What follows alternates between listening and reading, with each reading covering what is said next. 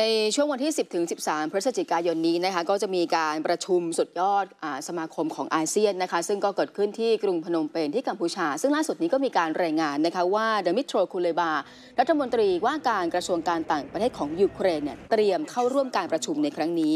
แล้วก็สิ่งหนึ่งที่น่าสนใจก็คือเขาจะมีการกำหนดการลงนามร่วมมือกับอาเซียน ในส่วนที่สัญญามิตรภาพและความร่วมมือในภูมิภาคเอเชียตะวันออกเฉียงใต้ ซึ่งส่วนที่สัญญานี้เนี่ยจัดตั้งขึ้นเมื่อปี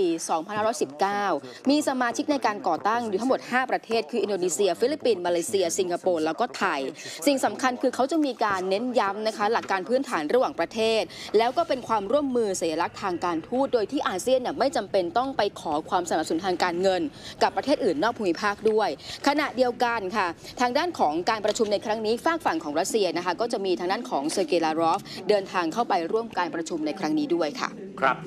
ก็ทางด้านนมิโตรคุเลบานะฮะมาประชุมที่กัมพูชาค่ะนะครับ